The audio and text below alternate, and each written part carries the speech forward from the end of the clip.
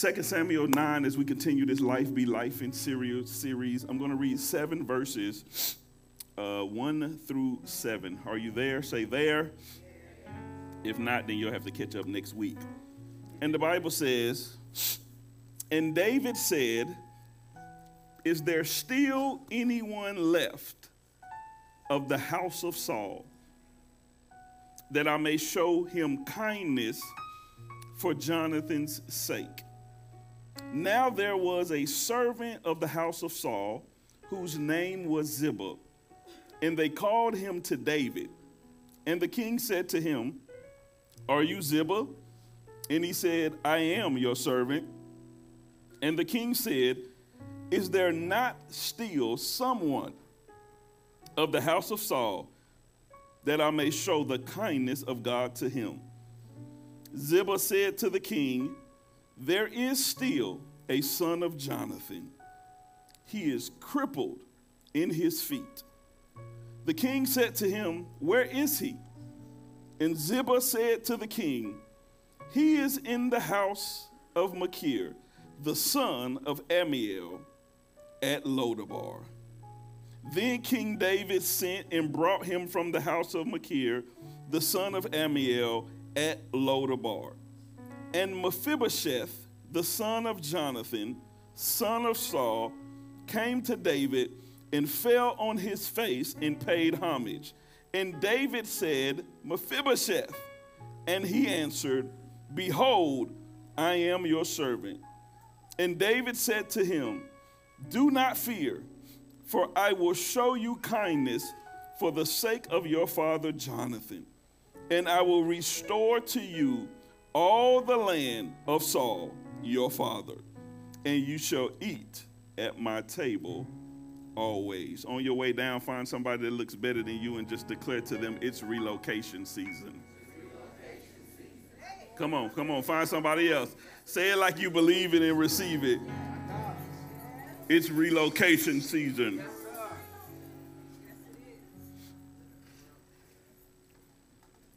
An unknown author coined the statement man can live about 40 days without food, about three days without water, about eight minutes without air, but only for one second without hope. While a hopeless life doesn't actually yield a physical death, in my opinion, it yields the death of purpose and the death of destiny. Without hope, we're nothing more than dead men walking, just existing, waiting to expire. And I've concluded that hope is rarely freely relinquished. An individual with no hope has usually been robbed of hope. An individual with no hope has usually misplaced it within the ups and downs of life. Many have lost hope for what can take place in the fourth or final quarter of 2024 because their hope was misplaced in the ups and downs of life in the first three quarters of 2024. Joblessness has robbed many of hope. Inflation has robbed many of hope.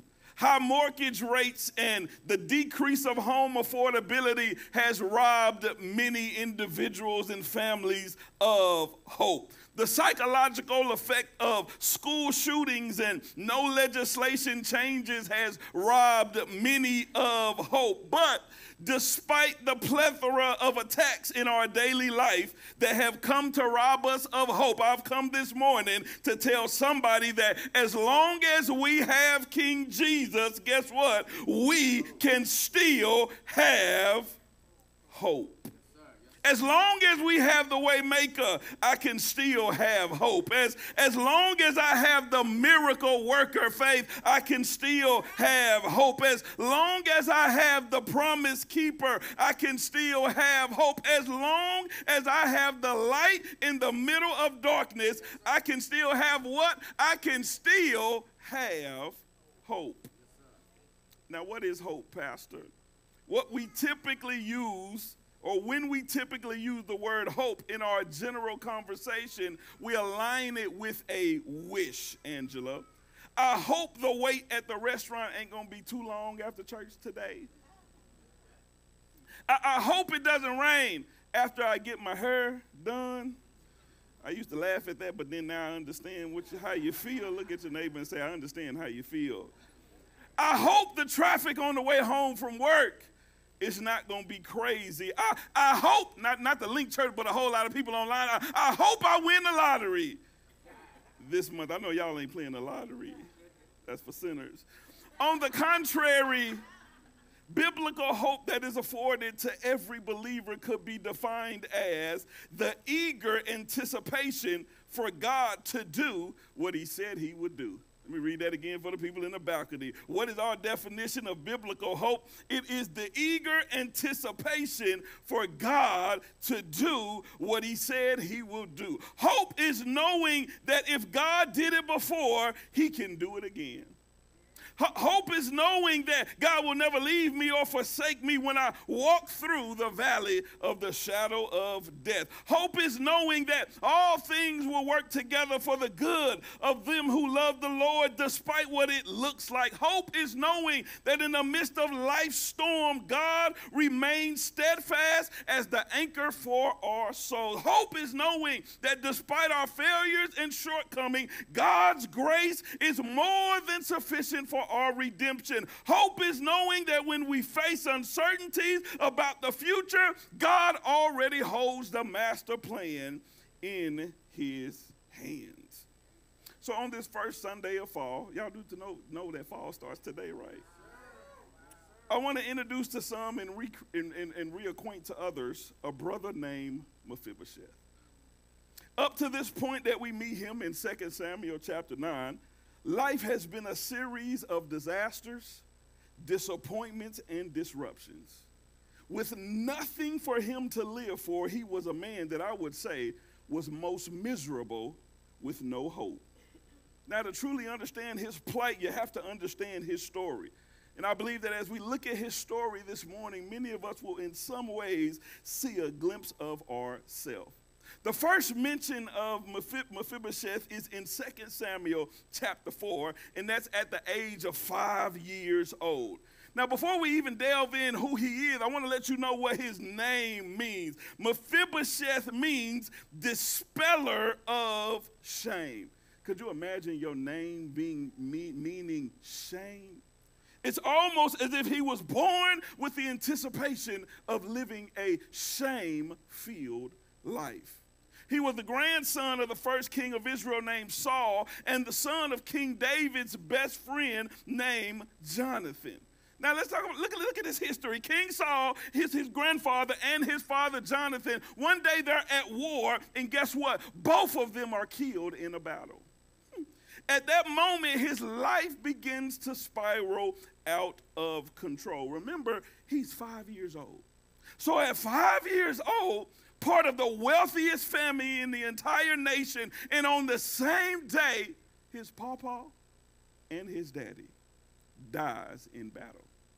The Bible lets us know that when the word gets back to him, that his nurse, the one who's taking care of him, she becomes afraid. So she picks him up and she's run. She runs, I guess, believing that everybody's coming back to kill everybody. And the Bible says that she drops so while she's running to get away, she drops him and then he injures his feet.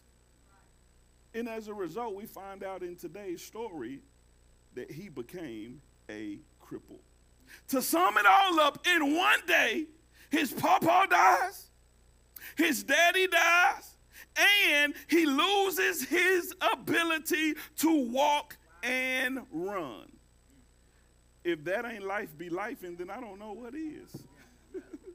The first pit stop I want to make in this story is the condition. Somebody shout the condition.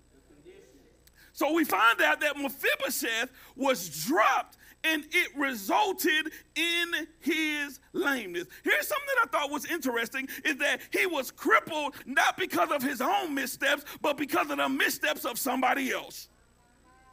So he's now living this hopeless state in a hopeless place, not because of something that he did, but because of something that somebody else did.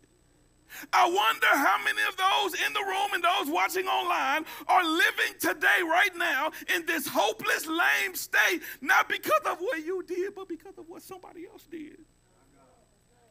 Stuck in life, feeling like you can't move forward because of what your ex did stuck in life feeling like you can't move forward because of what your daddy did 20 years ago, 15 years ago, 10 years ago, because of what your mama did or because of what your mama didn't do. You are stuck in a place. You feel like you can't walk in purpose. You feel like you can't move in destiny. And it's not because of your mistake, it's not because of a wrong choice that you made, it's because of somebody else's mistake. This is what I believe that too many of us are so focused on whose fault it was that we ended up where we are that we didn't even have the energy or don't even have the energy or mental capacity to focus on how to relocate to a new place. Look at your neighbor and say, What are you focusing on right now? You focused on how he left? Focused on how she left? Focused on how they weren't present? Focus on how they didn't tell you you they loved you enough and you were beautiful enough and you were pretty enough or are you focused on how can i move forward from this how can I leave my place of insecurity? How can I leave my place of brokenness? Or are you only focused on the fact is that they broke me and it's their fault? They messed up, and that's why I'm here. That's why I'm struggling. That's why I'm on Section 8. Is it not a plan on how I can leave where I am and relocate? Or am I focusing only on the fact that I was dropped and I can't understand how nobody else is understanding that I was dropped? It's not my fault that I'm here. I got a question though.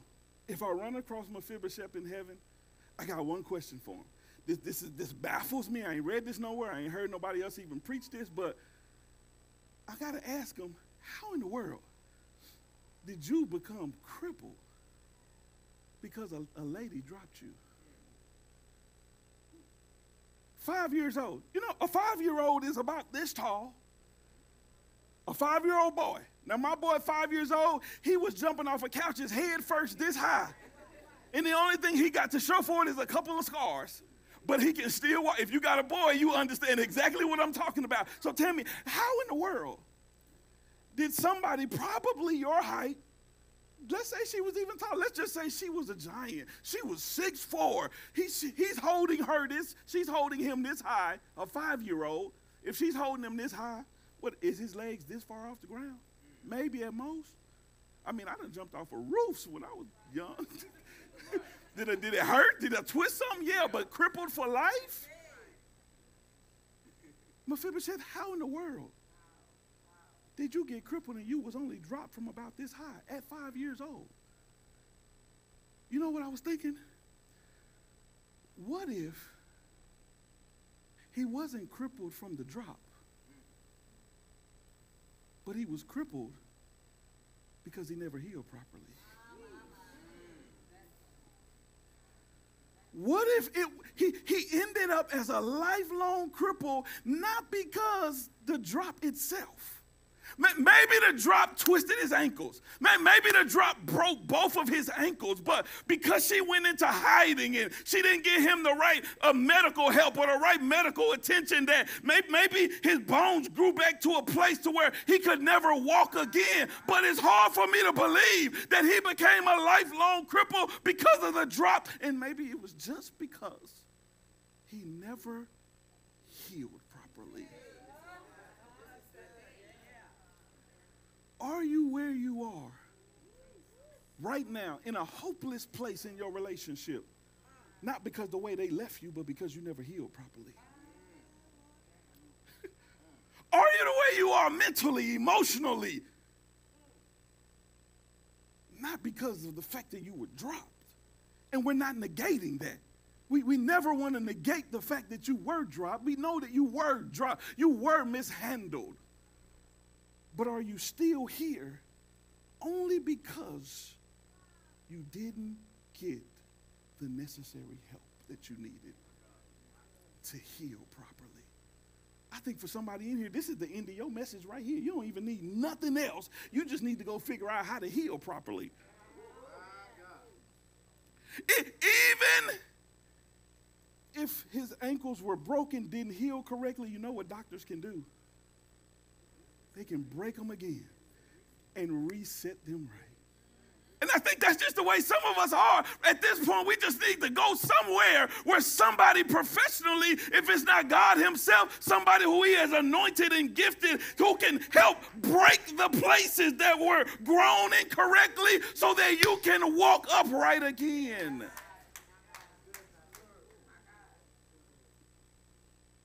The Bible says that they found out where he was as an adult. He settled in a place called Lodabar. That's important. Lodabar literally means no pasture and no word. We we going back to a place of someone leaving where they should have been to go to a place where they've never been. A place of what? No pasture, no word. Scholars, if you read commentaries, agree that Lodabar was a depressing ghetto of sort. He moved to the projects. So somehow, after leaving the wealthiest house in the nation, he ends up in the projects. No chance of growth, no fruitfulness, a place of no hope, no life, no purpose. It was his lameness that led him to Lodabar. What happens with a bunch of us? We find places that cater to our brokenness. Instead of him saying, I come from a wealthy place, this ain't the place for me, he said, but because I'm broken, because I'm crippled, because I lost daddy, because I lost papa, because of all the things that happened to me, the best place for me to be is a place with no life, no hope, no growth. Is that the reason you're where you are today, right now? Emotionally, mentally. You've settled that this is the best place for a broken person. And I get it sometimes when you feel so broken, you don't want to be around people that appear to be healthy because it makes you feel even worse about your situation.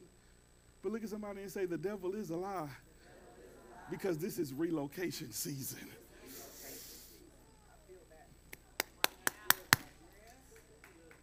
Here's your word you don't have to settle in a place of no hope, no life, and no purpose. I can't control what will happen to me in 2024 but I can control how I handle the moment. And I want somebody to leave here today saying that regardless of how great the situation is or not so great the situation is, I'm going to choose to maximize the moment. The, one of the greatest sermons that was preached today was Bobby's worship. That was one of the greatest messages that was preached today. That regardless of how hopeless it seems, y'all, we prayed. We, we quoted the scriptures. We told God we know that you're a healer. We know that you can do it. And then yet God chose not to. But Bobby said, I'm going to maximize the moment. And Lady Dana, she said, she said, Bethany already took uh, Bobby off the schedule. And I think she put candy on her. And I said, hold on, pause. Don't do that. Don't, don't make any decision yet. Don't even reach out to him because, and, I, and, and she, will tell you, she can confirm what I said. I said, a, a, a worshiper is going to want to worship through his pain. Yes, I said, I, I get it. Because when my, my brother passed on a, what, a Friday, I didn't want to be nowhere else two days later but at church. I didn't want to be in my bed. I didn't want to be, I didn't want to be nowhere else but in the presence of God in the sanctuary so that I could worship him and so I could just deliver. what I just wanted to be where I knew God would be. So I said, don't, don't take him off the schedule. Let him tell us if that's what he wants to do. And she said, yeah, I talked to Bobby, and Bobby was like, I don't want to do nothing else on Sunday but worship God. Yeah, yeah, yeah, we have a choice. We can't choose the circumstance. Life is going to life, y'all. Storms are going to come. we gonna be dropped in some way, form, or fashion. Your boss is gonna drop you. A mentor is gonna drop you. Maybe a pastor will drop you. It won't even be personal, but the question is, how will you respond to it? Maybe somebody's watching online. I don't even know. A pastor dropped you. Maybe it wasn't personal. But the way you responded to it was leaving a place of wealth to go to a place with no hope, a Lodabar. You, you, you left a place of wealth. You left a place where you could worship. You left a place where God could speak to you in the midst of your situation and your pain. And, and you're out there now in Lodabar wondering, what's next for me? The word for you is that you don't have to stay in Lodabar. It's relocation season. I, I got to move on. I'm moving. I'm, I'm, I'm moving. As we moved in 2 Samuel 9, it appears to be out of the blue that King David, King, David's the king now, he senses a need to find anybody who's left in Saul's house. Now, that's not uncommon. It's not uncommon that a, a king rises up and he wants to find out is there any uh, seed? Is there anybody who came out of the king's loin that's still around? It's, it's not uncommon for them to go look for them because what they need to do is kill them. kill them because they may be the rightful heir to the throne and they can challenge the throne. They start a revolt, get a group together and come and kill. That's just the way it was back. That was a real, like Game of Thrones, that was some real Bible stuff back then, right? But instead of him going and look for the seed so he can kill him, he's looking for the seed so that he can bless him. So he says, Is there anybody left of Saul's house that he can be a blessing to them on behalf of Jonathan, who was at one time, while he was alive, David's best friend? So my pick, my second pit stop that I want to make in this story is the covenant. Somebody shout the covenant. So, the covenant, what is a covenant? It's a chosen relationship or partnership in which two parties make a binding promise to each other and work together to reach a common goal. So prior to Jonathan's death, Jonathan and David, they made a covenant with, with each other that they would be kind to each other's descendants. Maybe they knew, hey, if I die before you die, then I need you to watch out for. So what he did, he basically became Godfather. Right? That's basically what he did. So in the sense, he was like, where my godson at? Do, is there, do I got any godchildren up in here, right? So they made a covenant that if something happened to me, I need you to make sure my kids taken care of. Cool in the gang. If something happened to me, then I need you to make sure that my descendants and my kids are taken care of. So think about this. He's planning this, he's preparing for this. So while Mephibosheth was in a place of no hope, no life, no purpose. He didn't even know that a king was already making provisions for that his best days were to come while he didn't even know, while he was sitting thinking, my life is over. This is my plot in life. I'm never going to get married again. I'm never going to find another wife. I'm never going to find another husband. I'm never going to find another church. I'm never going to become a homeowner. I'm never going to have kids. I'm never going to be anybody. Guess what? A king was making provisions so that his last days would be his best days. I just want somebody to know that you have a king in Jesus that has already made provision that your best days are ahead of you. The question is do you believe it? And will you believe it? I wrote a couple of covenant promises. Listen, if you have no hope, the number one thing for you to do is go find out what does God say about my situation. Now, what does Luke, Pastor Lewis say about my situation? Now, what does Lady Dana say about my situation? Now, what does the bishop on TV say about my situation? What does God say about my situation? I, I want to call those scriptures hope builders. I just wrote a couple of down, a couple down just to show you. Psalms 50 and 15. We got a whole book, y'all. This is life changing right here. Like this will change the way you see yourself. This will change the way you see life. This will change the way you see people. This will change the way you see your circumstances. Psalms 50 and 15, I'm just giving you a couple. I didn't even get these to AV, so you can write them down. This is just some general uh, covenant promises for believers. And call upon me in the day of trouble. I will deliver you, and you shall glorify me. If you're in trouble right now, why wouldn't you be quoting that scripture every morning when you wake up? If you're in a place in any area of your life and you feel like there's nothing I can do to change this situation, you should be quoting nothing else but this. I shouldn't say nothing else, but this should be one of the main ones. And call upon me in the day of trouble. This is my hope builder. This is something that'll make me get up out of bed and say, you know what? Okay, cool. I'm to get up. I'm to get dressed. I'm to go to work because I believe that according to the scriptures, if I call on him when I'm in trouble, he will deliver me. That gives me hope. Why? Because what is hope again? Believing that God will do what he said he would do. So while I think life is over, I got a hope builder that tells me he will deliver me. Second Corinthians 12 and 9, here's just another one. My grace is sufficient for you. For my power is made perfect in weakness. When, when, when would I quote that? When I just feel like I can't go on.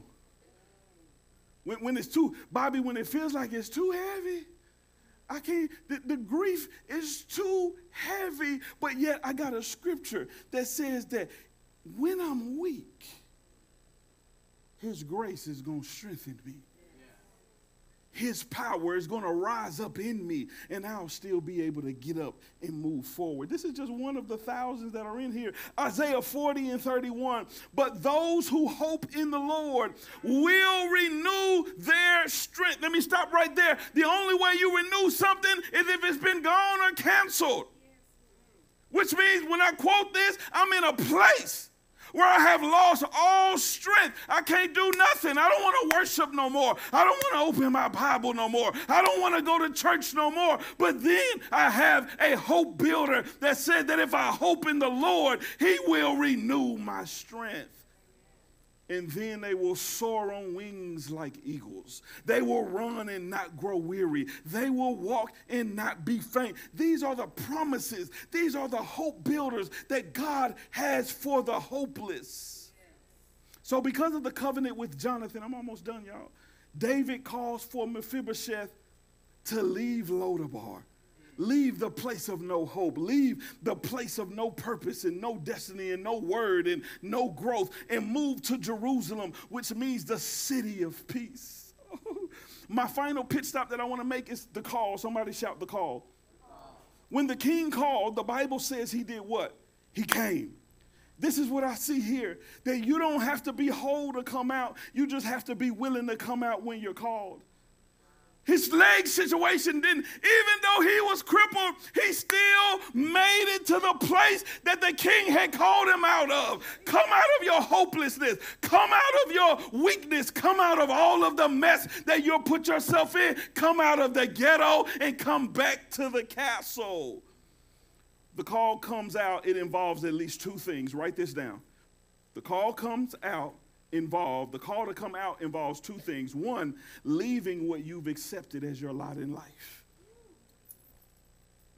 Leaving what you've accepted as your lot in life. Some of you have told yourself, this it. I'm to die single. I'm to die poor. I'm to die broke. I'm to die sick. I'm going to die alone. I'm going to die separated. I'm going to die without the vision that I had coming to pass. But when God calls you out, you got to be willing to leave. Not just this physical place, but this mental place that you have created that says that this is all, this, this is it. Some of us, we feel like, you know what, I've, I've tried it a couple times. I don't want to try it again. What's the point? You ever felt like that? Marquisha's daughter, what's your daughter's name? Alexis, have you ever felt like that, Alexis, where you like, I tried this before? I tried this guy thing before. Ain't no point in trying again.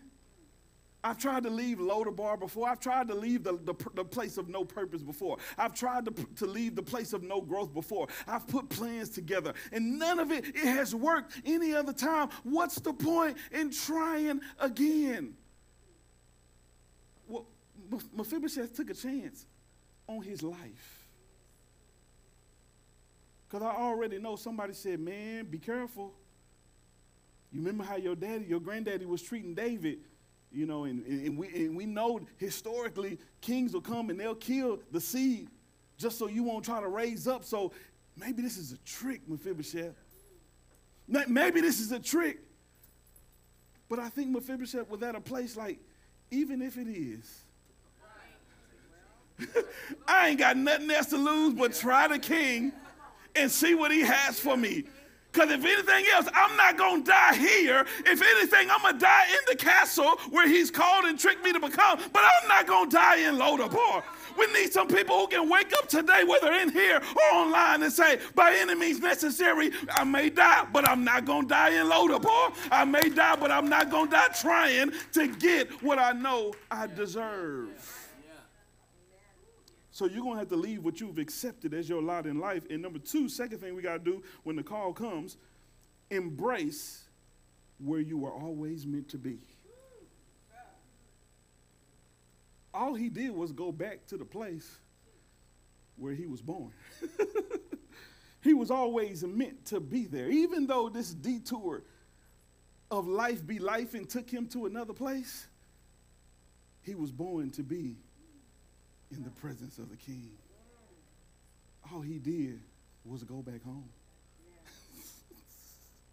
That's all he did. Listen, when you were born again, there are some things that became a rightful place for you. Whether you believe it or not, I don't care how long he was in Lodabar, there's no way he could forget. I was born in that castle. I, I, I was born in wealth. Now I'm going to get to go back to it. When you were born again, there are some things that were just for you. Love was for you, joy was for you. Peace? Like, man, I ain't, no way in the world I'm supposed to have peace with all this. I got all this stuff going on in my life. I ain't supposed to have that. Yes, you are. It comes with the Holy Ghost. That's all I was doing was giving you some fruits of the Holy Spirit. Those are some rightful places and some rightful benefits and blessings that every believer has the opportunity to receive. Love, joy, peace, long suffering, patience, gentleness, goodness, faithfulness, meekness. These are just some of the things that are rightfully yours because you were born in it and you were born again. God has some things for you. I believe that God is calling you today to relocate and come out. That's a challenge for somebody. God is challenging you to change your address from hopeless drive to hope drive, from peaceless drive to peace drive, from lack drive to plenty drive. Can I give you one more verse before we get out of here? Look, look at, at verse 12. I didn't send this to, to, to AV.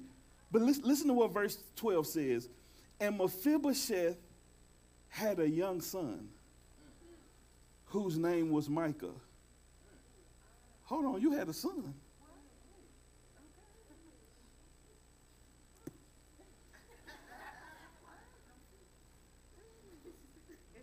His legs didn't work.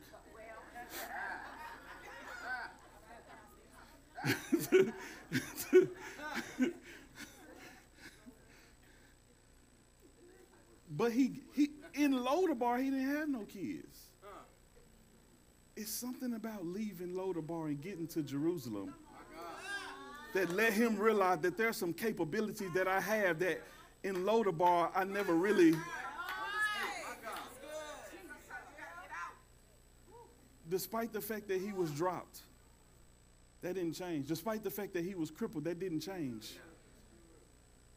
But just because he was dropped and crippled, he still was able to produce something that was going to live long past beyond him. There's something on the inside of you that, despite the fact that you were dropped, and maybe you've been crippled in some area of your life, you can still produce something. Look at somebody and say, Life is on the inside of you. All you got to do is get busy. Stand to your feet and give God a praise right there.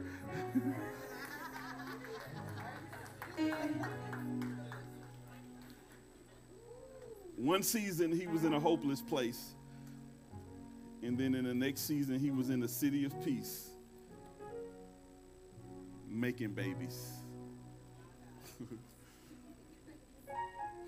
he changed his address and changed his whole life. The Bible says that for the rest of his days, he ate at the king's table. Know some of you are like, man, you know what? I get it. But I don't want to get too hyped about my situation changing and circumstances changing because, man, I just don't want to be let down. You know what I mentioned earlier that today was the first day of fall? What's the high today? Somebody got, a, got, got the temperature on their on their phone. They can grab it real quick. Tell me what, what, the, what the high what the high today? Huh? What's the high gonna be today? 93. That's that's summer weather.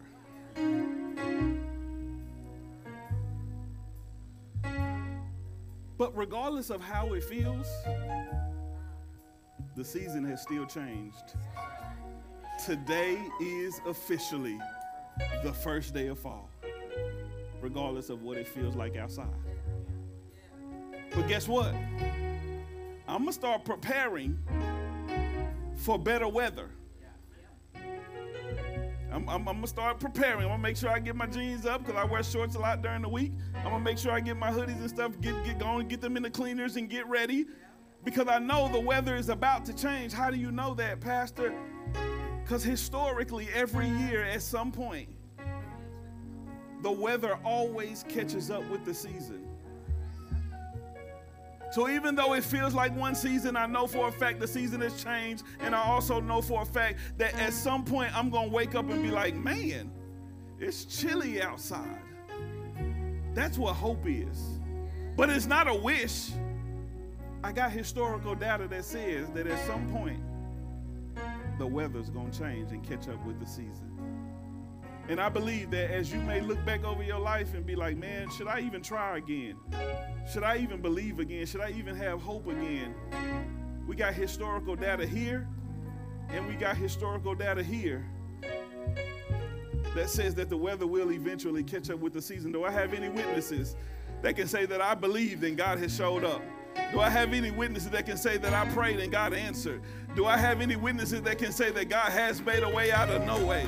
That God has delivered, that God has set free, that God has saved. When I believed, God has come through. We have witnesses, we have historical data, which means that it's okay for you to begin to prepare for the next season.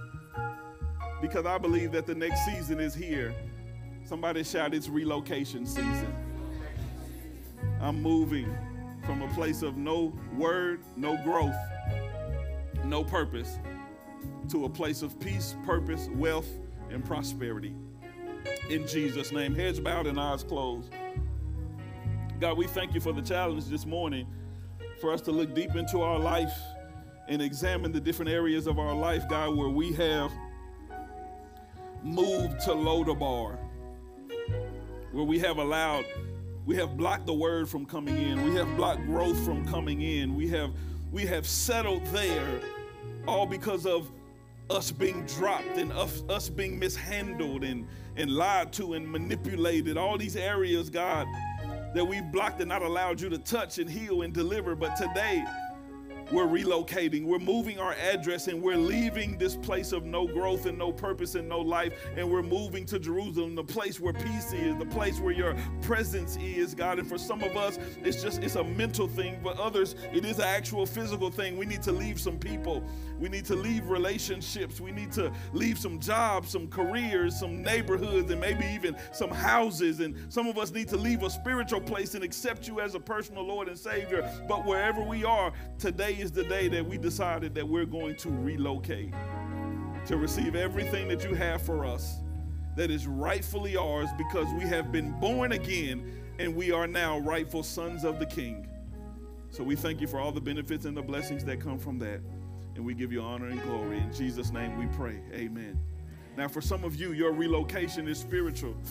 So you got to accept Christ this morning. So when I count down from three, we're going to ask you to come down and we're going to welcome you into the kingdom of God and we're going to pray for you. And if that's not you, maybe you say, Hey, I've given my life to Christ before, but I walked away. My old church, we used to say, You backslid.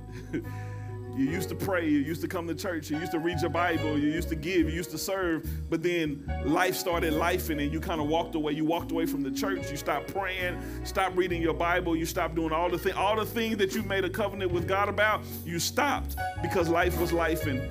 Well, I don't think that you're here by chance this morning, but this is God's divine plan for you to rededicate your life. So when we count down from three, God is calling you, the King is calling you to move out of that backslidden state, out of that rebellious state, out of that I left God state, and come back home to your rightful place. When we count down from three, if you want to rededicate your life, you can come down and we'll pray for you. Or maybe you're here this morning and you're saved doing a doggone thing, but you need a church home. Couldn't we use a few more people at the Link Church? Listen, we love to have you. I know it's a major step, but it was also a major step for Mr. Mephibosheth to leave Lodabar and go and risk his whole life. But I believe you wouldn't be risking your life. I think you'd be gaining your life because there's a lot of people here that can love on you, comfort you, be a friend to you, be a sister and a brother to you, be mentors, mothers, fathers, aunts, uncles, everything you need. I believe that is right here at the Link Church. So when we count down from three, if you want to give your life to Christ for the first time, if you want to rededicate your life, or if you want to join the Link Church, now will be your time. Three, two, one. Give God a crazy, ridiculous praise. Come on, if you're ready to move out of Lodabar, if you're ready to move out of the place and the state that you're in, and you want to start a new chapter spiritually, now is your moment. Come on, I'm gonna give you 30 more seconds. Give God a crazy praise for right there, right there, right there, right there, right there. Listen, maybe you are watching online and you said, "Man, I know I need to come out of where I am, and if I was there, I would have came down and gave my life to Christ." It's okay, wherever you are. God is present. He's right there as well. He's omnipresent. He's in your cubicle. He's in your home. He's in the living room. So you can accept him now with a sincere heart. Just repeat this prayer after me. God, I confess that I'm a sinner and I need to be saved. I believe that you came down from heaven and you put on sinful flesh and you walked this earth.